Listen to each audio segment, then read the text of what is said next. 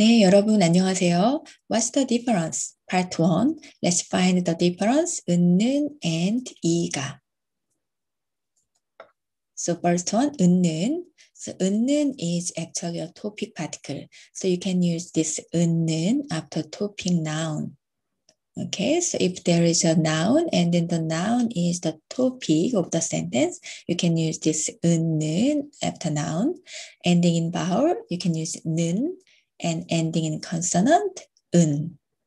So for example, so if we want to say I'm a student, I'm a student, so then the topic is I, myself, right? So I is a topic of the sentence. So you need to say I, 저는, 저는 student, 학생이에요. 저는 학생이에요. And second one, 자, Eric. Eric is a doctor. So Eric is a topic of the sentence. Yep. So you have to use topic particle uh, un this time. Why? Because Eric ending in a consonant is noun. So Eric 은, Eric은 doctor 의사예요. Eric은 의사예요. Okay. And the second one, um, contrasting two things. So this comes after noun to indicate that the noun contrasts with another noun. Okay, and so that if there are two nouns and then two nouns as contrasting, then you can use this 은는 particle. And same, ending in vowel, 는, and ending in consonant, 은. So look at the example sentence. I'm Korean. Jason is American. Yep.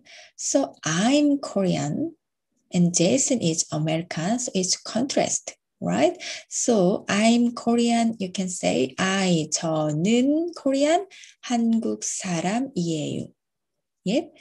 And Jason, Jason은 American, 미국 사람이에요. Okay. And second one, I have apples. However, don't have oranges. Okay, so I have apples, but I don't have any oranges. So it's contrast. Yep. So you can say 저는 사과는 있어요. 자, I have apples. 사과는 있어요. However, 그런데 don't have oranges. 오렌지는 없어요. So 사과 and orange contrast each other. So 사과는 있어요. 그런데 오렌지는 없어요. All good. The next one, number three. 자, if there is a noun and the noun is all the information or fixed fact, then you can use 은는 particle. Okay. So it is used when you are talking about something mentioned earlier or already known by both sides in conversation. the same ending in vowel 는 and the end ending in consonant 은. So look at this example. We are student. We are student. So this is a fact. Okay, and we already know this information. So we can use 은는 particle. So we 우리. So 우리는 학생이에요. 우리는 학생이에요. And second one, I'll meet Jade tomorrow. and Jade is Australian. Okay, so I'll meet Jade tomorrow. So 나는, 저, 저는 tomorrow, 내일 제이드를 만나요. 자, Jade is Australian. So Jade는 호주 사람이에요. Okay, 저는 내일 제이드를 만나요. You already mentioned about Jade. So for the second sentence, you have to use 은는 particle. because Jade is like uh, all the information. So Jade는 호주 사람이에요. Okay. 자, and the next one. 자, 이가. So there are three things as well. So 이가 is a subject particle.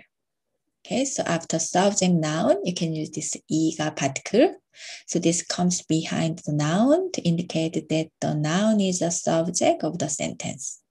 Ending in vowel, 가 and ending in consonant e. So for example, oh, the weather is nice. The weather is nice. So the weather is 날씨. and nice, good, 좋아요. So this weather, the weather is the subject of this sentence. Okay, so you can say 날씨 and then you can use subject particle 가. 날씨가 좋아요. And next one, there is a pen. There is a pen. A pen. This pen is the subject of this sentence. So 펜이 있어요. Okay, 펜이 있어요. So 날씨 and pen, it, both of them uh, are subject of the sentence. So you can use 이가 subject particle. And second one, yep, emphasizing the subject. So this is also used to emphasize the preceding subject. So ending in vowel ka, ending in consonant e. So for example, so who is a student? Who is a student? I'm a student. Okay, so who, 어, 자, who, then 누가, yep, 누가, student, 학생이에요. 자, not another person, I, it's me, I. So emphasize the subject. So 제가 학생이에요. 제가 학생이에요. And then remember this one, be careful. If you use 가 uh, subject particle with 저, you need to say 제가, not 저가. Okay, so 제가 학생이에요. I'm a student. And second one, what is there? What is there? There is a chair. So what is there? What? So 무엇? 어, 무엇이 있어요? 무엇이 있어요? Yeah. So there is a chair. Chair. So 의자. 의자가 있어. Not another one. 자, chair. Okay. Not desk or another a pen. Yeah, so just chair. There is a chair, a chair. You emphasize this chair. So you can say 의자가 있어요. So 무엇이 있어요? 의자가 있어요. All good. And then third one, if there is new information, if the noun is a new information, you can use 이가 particle.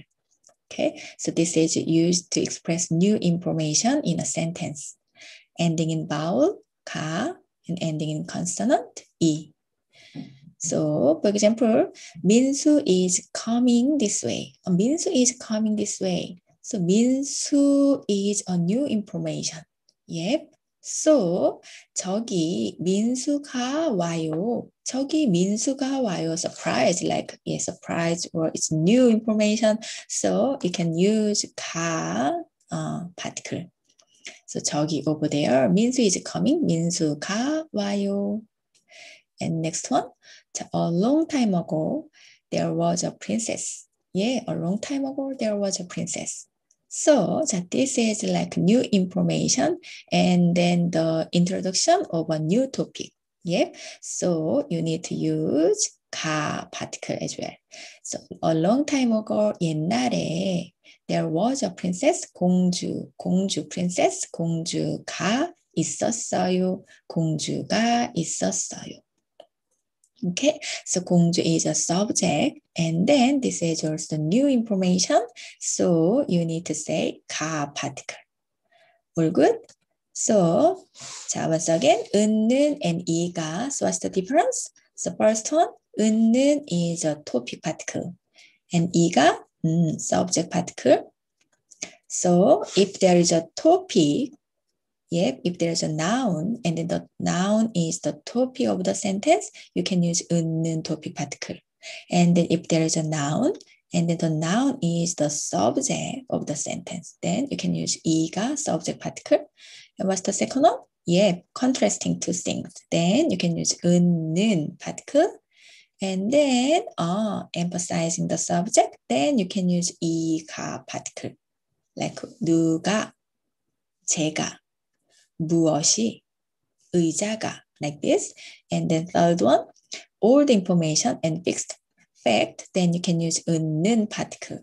And if there is new information, yeah, you can use 이가 particle. We're good. So let's practice.